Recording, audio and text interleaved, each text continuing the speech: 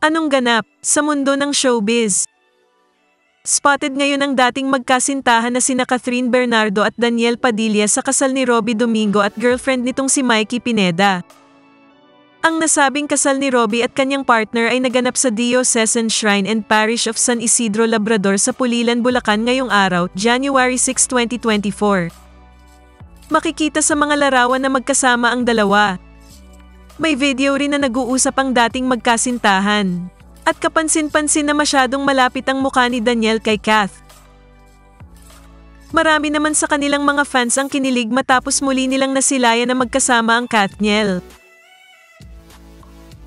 Kung nagustuhan mo ang content na ito, huwag kalimutang mag-subscribe at i-click ang share, like, at mag-comment ng inyong opinion.